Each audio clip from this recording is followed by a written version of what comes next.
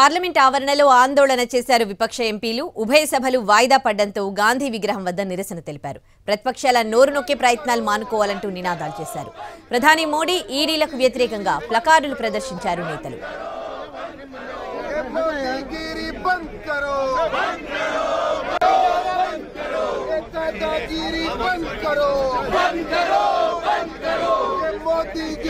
బంద్ కరో బంద్ కరో बंद करो बंद करो बंद करो ये मोदीगिरी बंद करो बंद करो ये मोदीगिरी बंद करो बंद करो ये दादागिरी बंद करो बंद करो बंद करो ये मोदीगिरी बंद करो बंद करो ये मोदीगिरी बंद करो बंद करो ये दादागिरी बंद करो పార్లమెంట్ ఆవరణలో విపక్ష ఎంపీలు ఆందోళన చేశారు ఉభయ సభలు వాయిదా పడ్డంతో గాంధీ విగ్రహం వద్ద నిరసన తెలిపారు ప్రతిపక్షాల నోరు నొక్కే ప్రయత్నాలు మానుకోవాలంటూ నినాదాలు చేశారు ప్రధాని మోడీ ఈడీలకు వ్యతిరేకంగా ప్లగార్డులు ప్రదర్శించారు నేతలు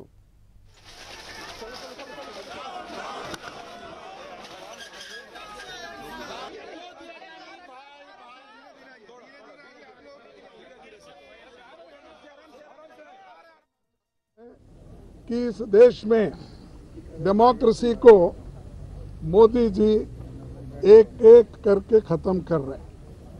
एक तो पहले ऑटोनमस बॉडीज को खत्म करते हुए आए, दूसरी तरह जो कानूनी तहत लोग चुनाव में जीत के आए, उनको डरा धमका के उन्होंने हर जगह अपनी सरकार बनाने में गई तीसरी बात, जो लोग झुकते नहीं, उनको झिकाने के लिए ईडी का इस्तेमाल सीबीआई का इस्तेमाल उन्होंने किया।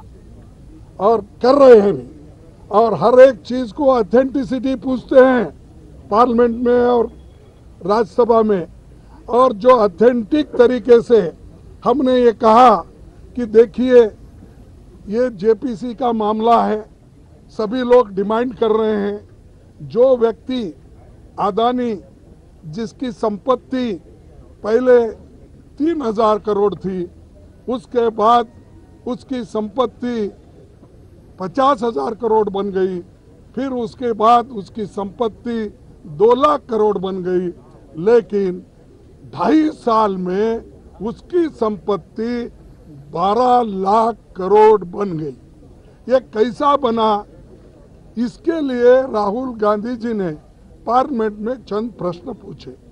पहला प्रश्न तो ये पूछा कि मोदी जी, अदानी के प्लान में आप आए थे ये आपके और उनके रिश्ते क्या है?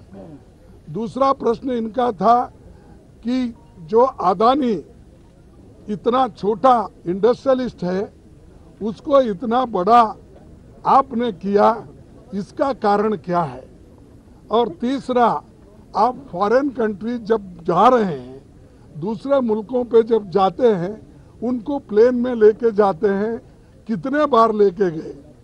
चौथा प्रश्न ये था कि आप जहाँ जहाँ जाते हो, उसी वक्त वो भी वहाँ पर आके मिलते हैं। उसका कारण क्या है? और पांचवी बात यह है कि जब आप वहाँ पर जाते हैं, वहाँ के प्राइम मिनिस्टर्स, वहाँ के फॉरेन मिनिस्टर्स, वहाँ के कैपिटलिस्ट लोगों के साथ मिलवाते हो, ये क्या बात है? इन चीज़ों को आप उत्तर दे दो।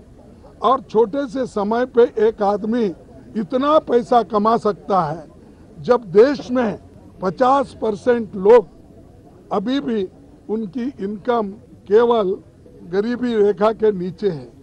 लेकिन ऐसे बड़े लोगों का जो आज संपत्ति बढ़ रहा है, इतना फास्ट बढ़ रहा है, कोई पर कैपिटा इनकम दूसरों का నరేంద్ర మోడీ గురించి రాహుల్ గాంధీ మాట్లాడితే దాన్ని ఓ కులానికి ఆపాదించడం దారుణమన్నారు బీఆర్ఎస్ రాజ్యసభ సభ్యుడు కేకే వాస్తవాలను వక్రీకరించి రాహుల్పై అనర్హత వేటు పడేలా చేశారన్నారు మోడీ అంటే కులం కాదని పేరు అన్నారు కేకే తెలుగు వాళ్ళ పేరులో రావు ఉన్నట్టే మోడీ అన్నది కూడా పేరే తప్ప కులం కాదన్నారాయన